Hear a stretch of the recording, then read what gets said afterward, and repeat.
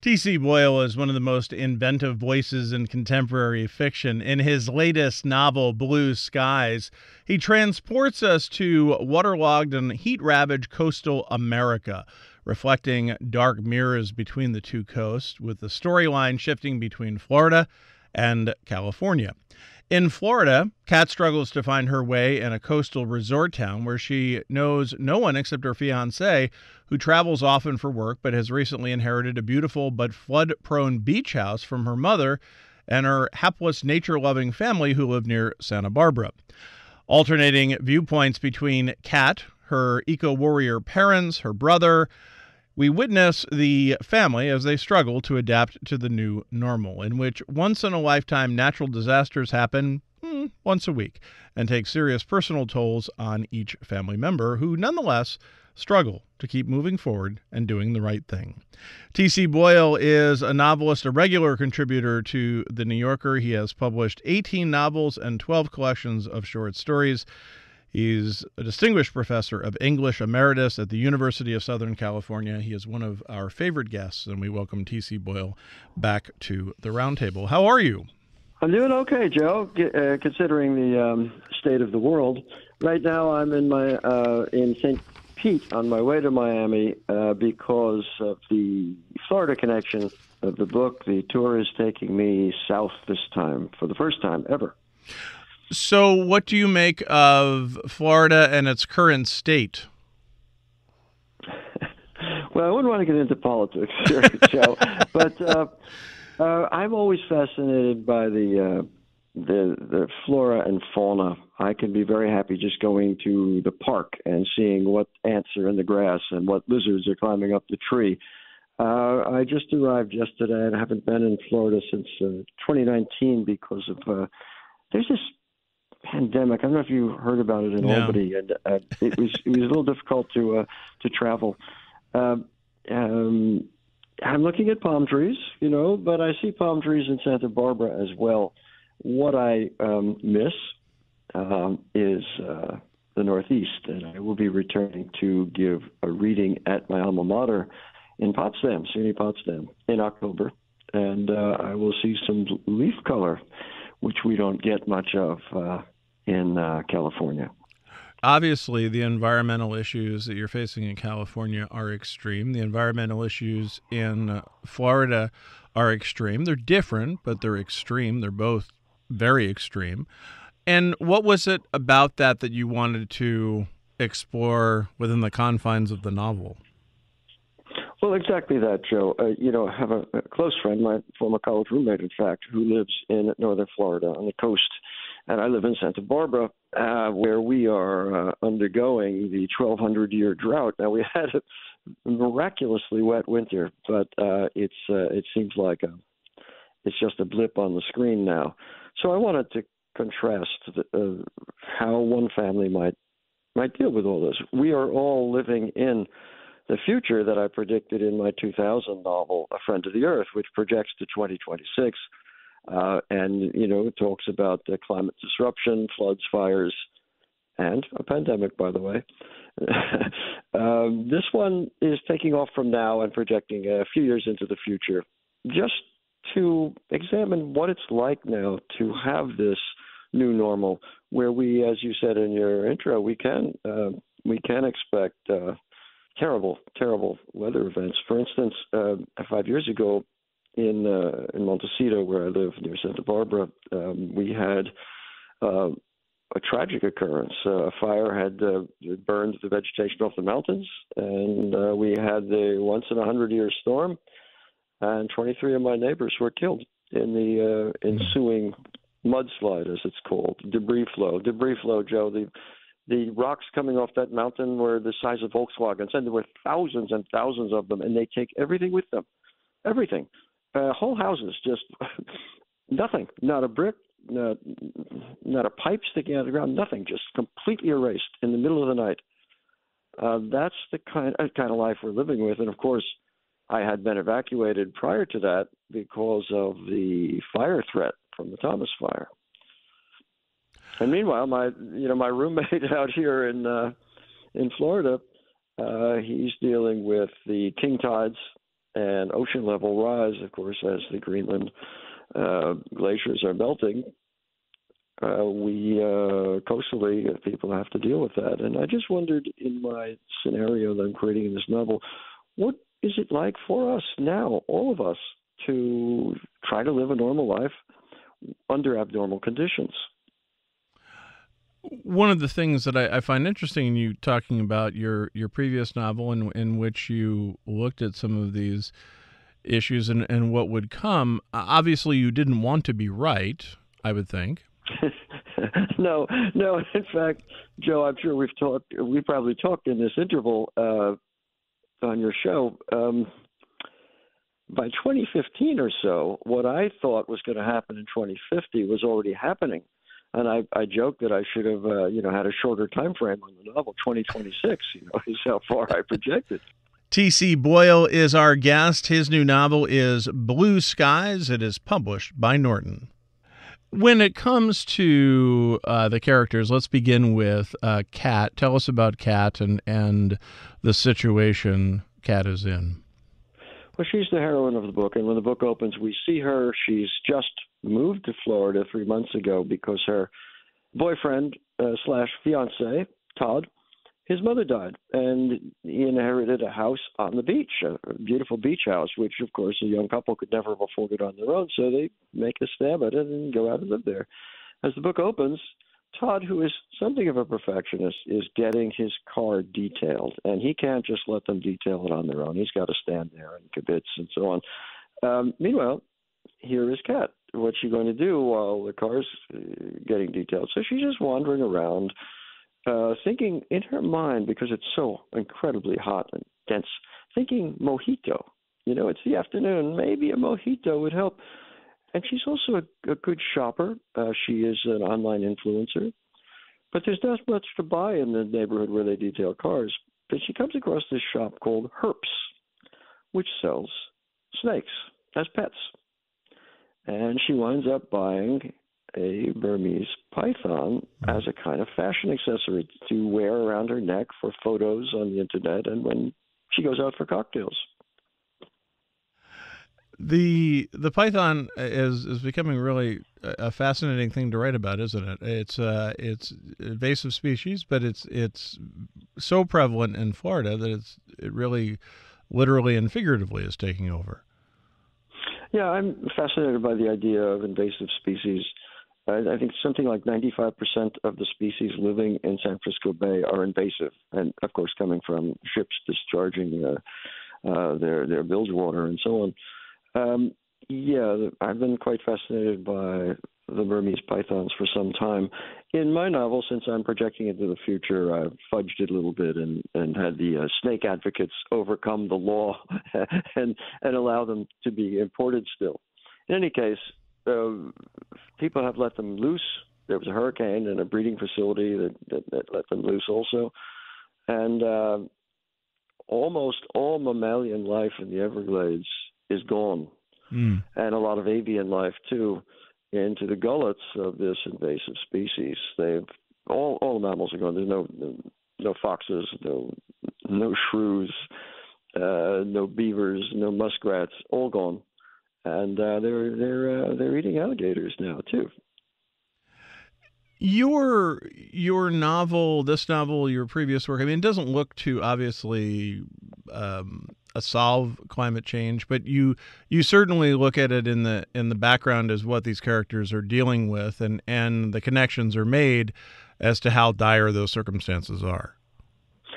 Yeah. Um, again, all of my books just derive from um, an idea of my wanting to find out about something.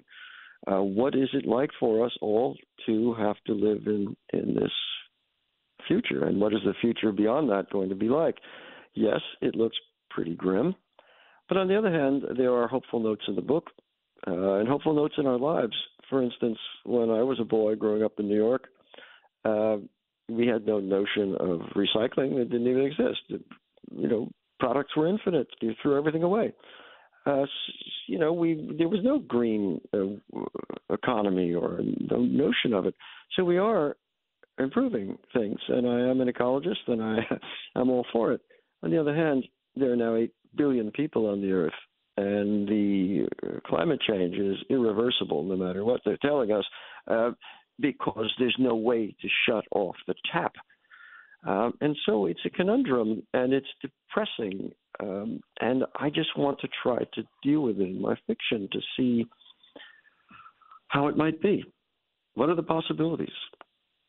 When we started our conversation, you say, as you know, I asked you how you're doing, and you said as, as well as to be expected. I, I'm curious how you've how you have managed your your life as as we go through these periods of such uncertainty and turmoil.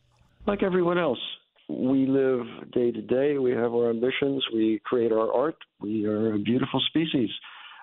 Wow, I have my work and I spend a lot of time outdoors. I love nature. I like to be alone by myself, deep in the woods or uh, on the beaches. And of course, in the woods, because I'm such an ecologist and altruist, I I feed the ticks a lot. I mean, they uh, they need to live too, you know, and they have their mm-hmm. babies and they they want, which is what we want. the entomologist, uh, who is the brother of Kat in the novel, his name is Cooper he studies butterflies, and his girlfriend is an acarologist. This is uh, a student of the tick. And I had written this scene, which you know, Joe, where um, he goes with her in the field to collect ticks to study.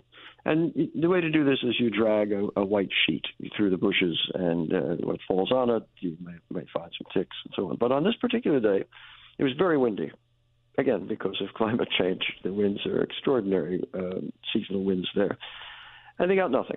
So they went to a bar and danced and drank and had fun and went home. And while he was getting ready for bed, he looked and noticed that on his right forearm there was a tiny, tiny tick attached, a, a larval tick, tiny, so tiny you could barely see it. And that was the end of that scene. And the next chapter uh, went back to their mother, Ottilie Meanwhile, there's a certain voodoo involved here. Within a week after that, I was hiking out in the chaparral, and the same thing happened to me. Uh, uh, a larval tick bit me, and it didn't transmit just Lyme disease. It transmitted cellulitis, which is a bacterial infection of the skin, and my entire forearm was as blistered red horror. Uh, this was during COVID, so I couldn't go to the doctor. I showed it to him on my phone, telemedicine, and he uh, made his diagnosis and gave me uh, clindamycin, a heavy-duty antibiotic, which it was touch and go for a while, but finally cleared it up. And the beauty of this, by the way, is he told me to take a magic marker and outline, you know, the the infection on my arm. Right uh, just to see if it's growing. And it did. It grew way past that and all the way on the other side of my arm and everything else. And I was a little bit concerned. And of course, I inflicted this on my character immediately. I, I just had a, a, nephew who, who got bit, and it was the same thing. There's there's this ring, and then you suddenly see the it grow and get redder and redder and redder on the outside, and it's it's it's quite disturbing. And then ultimately, and I assume this was the case with you, they find the right antibiotic that that knocks it out. Right, but of course we live in a world in which the uh, the bugs are beating us. Um, hmm. there are multiple drug resistant uh, strains of bacteria out there. I wrote a story about it. The, uh, the tuberculosis, for instance. Um, uh, we just hope that these antibiotics keep pace with the development of the uh, bacteria and viruses of the world and uh, in this case, the the uh, parasites that that carry them. And you know, evolution is beautiful. You know, I don't mind a tick biting me. Okay, you know, it's just minor annoyance, and it had been in the past, but now uh, they are carrying not only Lyme but now cellulitis, and uh, there are several other things that they're carrying as well. It's uh, it's a little frightening. You can't even go out into the into the woods anymore. Yeah, I mean, you look at this as a bug apocalypse in the book. Well, the bug apocalypse refers to what really got me going on this novel in the first place insects.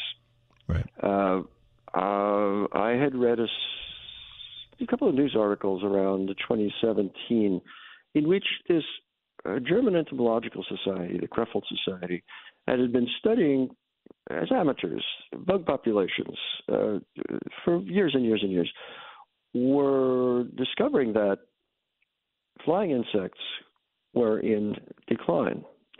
And I began to wonder, well, okay, so who needs mosquitoes anyway, uh, you know, or, or horseflies?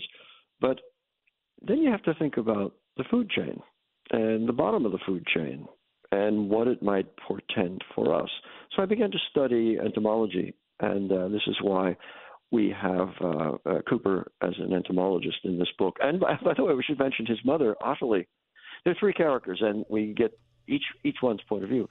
Ottilie, their mother, uh, is like many of us, like me.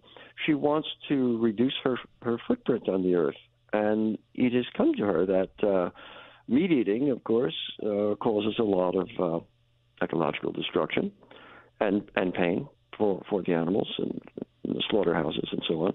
And so she decides to change her diet to and to incorporate insects in her diet. And those who read the book will find a few recipes uh, in case they're right. interested for cooking delicious uh, insect-based cuisine.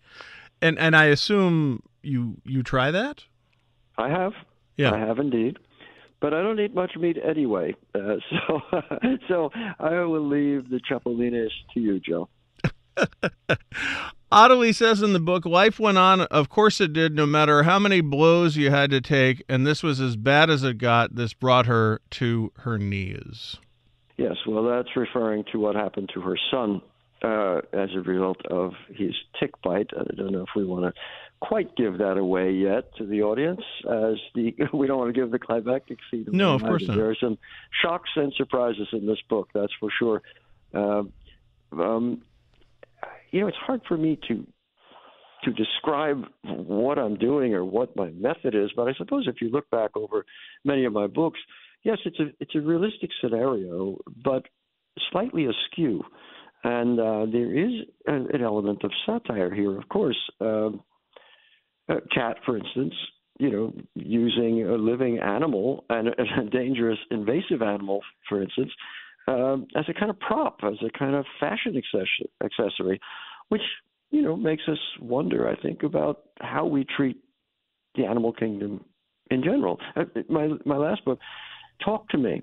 This is mm. a hmm. book in which the hero is a, a chimpanzee in in a laboratory. Uh, uh it's about the language experiments of the uh, 1970s, in which we tried to teach chimps our language with uh, with mixed success. And and you know, I'm wondering, well, what do they need our language for? They have their own language. Blue Skies is T.C. Boyle's 19th novel. It is now out. It is published by Norton. You talk about the satiric elements of the novel, and do do you ever worry that that that turns to to a degree of bitterness, or is is that just fine with you? I don't worry about uh, uh, about my work. I, it just evolves, and I follow it. Uh, of course, I, I, worry over every phrase and, uh, and and the movement of the book. As far as its reception, no, I don't worry in the slightest bit. People can take it or leave it. Um, I think satire is my my mode. It's the way I have always approached life. Um, things are are bad and getting worse, okay. So let's laugh about it a little bit. Um, I have written other books in in other modes. For instance, uh, I wrote a book called San Miguel about one of the islands uh, off of Santa Barbara in straightforward. Uh, straightforward realistic mode because it seemed appropriate for the book and I wondered if I could do that. But I think more naturally I'm writing uh, satirically and, and humorously. Well, that's it. It's it's so funny. It's it is it is humorously, and you you enjoy writing humor. Uh, it's my natural mode, Joe. uh, I, I have been called a wise ass by uh, some some fan on some forum somewhere, and I, I I cop to that. I guess I am and always have been. Uh, it's a it's a way of uh, of relating to the world which is a mystery to us. You know, there is no reason for us to be here, and we want reason, we want purpose. Um, everything is a mystery. How do we address it? Well, I think we have to make fun of it and make fun of ourselves uh, to, to, to, to get through the, the, the misery and the dislocation of just human consciousness in general. Do you feel, and, and that idea of misery, do, do you feel sort of relieved when you've written a, a, a novel and and sort of look at it satirically that it gives you a, a place in your mind that you can can better digest it? Or or does it just lead to the next idea of what you can satirize?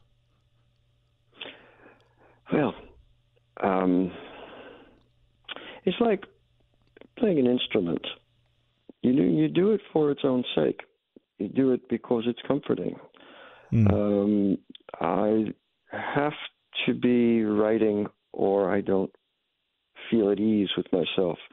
I'm trying to figure out what we're doing here and who we are. Um, and by, by, the way, if if I figure it out definitively, uh, I'll uh, I'll let you know, Joe. But uh, I don't think that's going to happen.